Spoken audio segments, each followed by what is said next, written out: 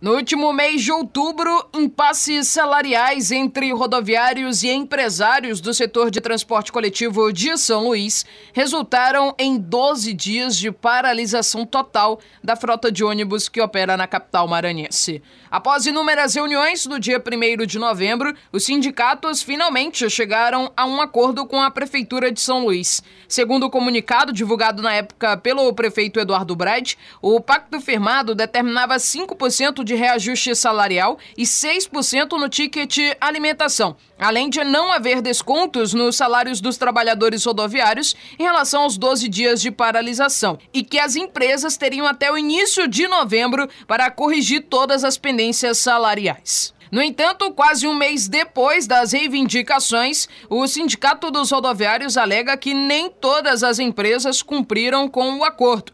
Já os representantes patronais defendem que a responsabilidade é da prefeitura, que não repassou todo o valor do subsídio prometido. Enquanto isso, a população da capital é quem continua sendo prejudicada, seja com as ameaças constantes de novas paralisações ou tendo que depender de veículos muitas vezes sem condições de uso. Por conta disso, o Tribunal de Contas do Estado, o TCE, decidiu abrir um processo de fiscalização a fim de acompanhar e supervisionar as cláusulas do contrato de concessão que rege o sistema de transporte coletivo de São Luís.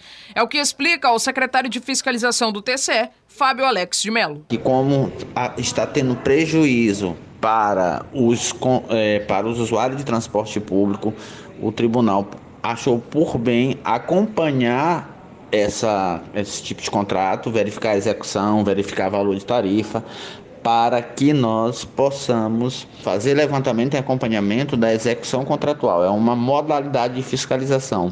Segundo o secretário, a próxima etapa do processo é a elaboração de um relatório com todos os autos observados durante este período de supervisão contratual e das atividades. Nós estamos iniciando uma fiscalização que vai combinar com um trabalho em relatório aí a partir da confecção desse relatório que podemos ter N desdobramentos nessa ação fiscalizatória do tribunal. Nós já estamos reunindo os documentos da fiscalização, assim como da Corte de Contas do Tribunal nos procedimentos de julgamento. O secretário de Fiscalização do TCE comenta ainda que, por conta do estágio inicial do processo, ainda é cedo para falar em possíveis implicações para contratante e concedente. A gente só pode dizer o que irá acontecer à medida que nós formos tendo acesso aos documentos da execução contratual. Por enquanto, a gente ainda está levantando essa informação, então é precipitado dizer quais, quais são o que pode acontecer. Nesta semana, a Câmara dos Vereadores de São Luís instaurou uma comissão parlamentar de inquérito, a chamada CPI,